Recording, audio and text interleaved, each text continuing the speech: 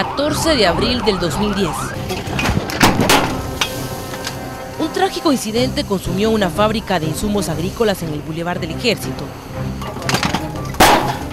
El héroe, José Julián Hernández, un veterano bombero con 24 años de experiencia, quien falleció en el cumplimiento del deber.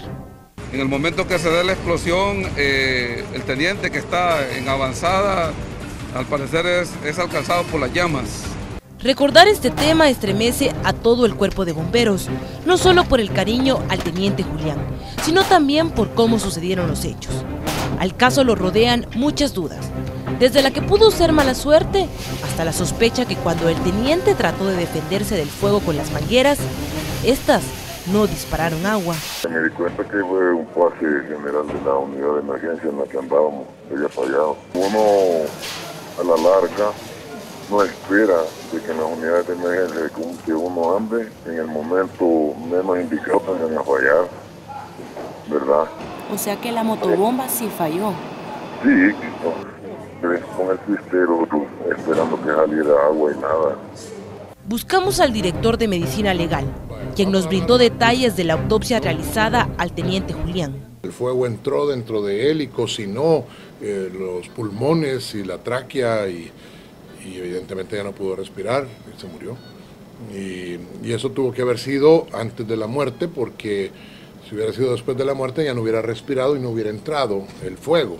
La pregunta es, ¿cómo un bombero con su trayectoria perdió el control en el siniestro?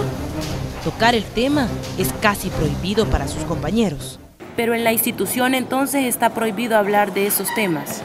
La institución tal vez sí no, sino que el director es el que ha prohibido el personal. ¿Tienen miedo de los bomberos de hablar de ese tema? Sí, claro, sí, yo igual, porque como le digo, ya uno con el tiempo encima y perder el trabajo por, por, por hacer saber lo que en verdad está pasando en la institución, ¿verdad? todos tenemos miedo.